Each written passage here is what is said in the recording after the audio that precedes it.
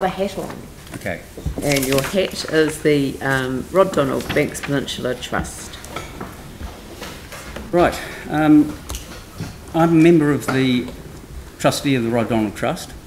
Uh, um, I also have been the, for the last year and a bit, um, the Rod Donald Trust representative on the Banks, Pest-Free Banks Peninsula Working Group that has been working to establish the structure, which is behind the MOU that's been recently signed, um, for developing a pest-free um, Banks Peninsula, pest-free 2050 Banks Peninsula, um, and I won't go through all the points that David Miller's so ably outlined to you, but I'll just talk a little bit on from the uh, more specific perspective of the um, Rod Donald Trust.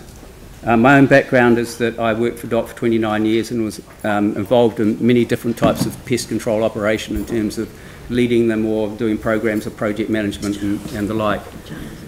Um, the, the Pest Free Working Group has developed a strategic plan um, uh, to be put to the to be established governance group for Pest Free Banks Peninsula.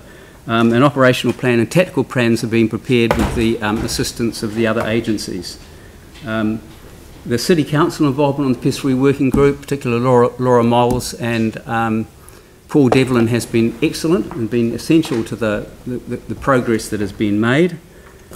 The Rod Donald Trust has um, seen this as a, an extremely important long-term objective for the Banks Peninsula. We have both recreational and biodiversity objectives the Trust has, uh, and we, because we have, there are other organisations that are focusing on the biodiversity, we have limited the amount of funding that we're putting into biodiversity projects, but we've seen this to be of such importance that we've done what we can to actually kick-start this whole thing and put in funding. So we've committed um, 35, we underwrote and we committed $35,000 to the um, successful um, Little Akaloa goat eradication plan program, which, um, and now the next step is to the next site on the peninsula to work through about five sites and completely remove goats off the peninsula. In addition, we put forward $25,000 of seed funding to fund the position for a, an operational manager for the um, establishment group for the, for the um, the organisation, uh, Richard Ball, and he's doing an excellent job putting together all the pieces so that we're, we're in a position to use money, money, money coming from larger funding streams, including the, the rate paying money, ratepayers' money from ECAN that we, we, have asked for um, half a million dollars. That's the scale of that contribution, um, can be best utilised. Um, the $60,000 from that we're requesting from the City Council with a focus on community group action and I, I, just endorse everything that David said about the value of working with community groups and supporting what they can do for a variety of benefits. Um, we think that's a, that's a, that's a small commitment. Um, we welcome the work that is currently being done by the Council in this area on the peninsula, mainly through the, the regional parks rangers. Um, excellent work um, supporting a, a, wide range of pest control initiatives. Um, but I certainly believe that the, the, the, council can see its way to perhaps not matching the regional council contribution, but, but meeting this type of, type of funding, not just for one year, but into future years. Um, and having this funding will provide leverage for additional funds because you know how you do funding bids, you won't be able to say, these organisations are given so much, can we have your contribution? Um, and we're looking for big contributions in predator-free 2050 lotteries, RATA um, and DOC um, in the future, the DOC Community Fund that is.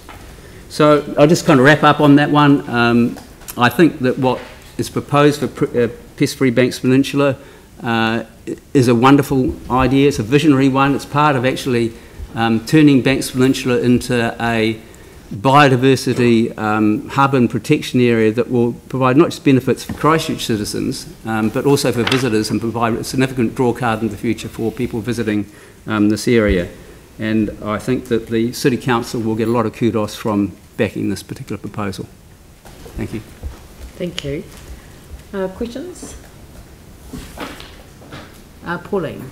Yeah, just wondering, um, where ECAN's involvement fits in because they're also funding as well. And have they indicated an increased level this year for their predator pest free?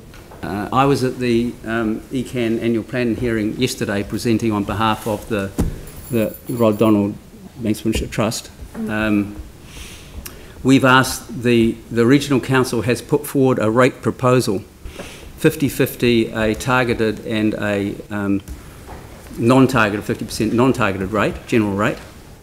Uh, and that will, on the face of it, raise half a million dollars that can be put forward to this. So it's a very extensive commitment that the Regional Council is putting in um, to improve the biodiversity of the peninsula, which of course is a key part of the Christchurch City Council's area. So that's for um, biodiversity and pest control? It will cover a range of pest control because it will include their, their existing possum program, rabbit control, support for their pest liaison group, um, and also weed control work they're doing on the peninsula. You can control pests and weeds, but the outcome is actually having more birds and having far better vegetation, far better landscape, making the place more attractive for people and visitors, and also having agricultural benefits as well, you know, for farmers, less pests. Um, and also for having a much better amenity for people living on the fringes of Christchurch, we say the Port Hills, who are actually going to really, in the future, enjoy the type of sort of bird life that you get in Wellington, we hope. Mm. So is that fund from ECAN be a contestable fund or is part of that through their operational program? Um, Do you know? There may be some contestable component, that's up for them to decide. We can't speak on their behalf, um, but we're expecting that a substantial proportion of that, that rate will actually come directly into the pest-free working group. Thank in you. its new form. Anyone else?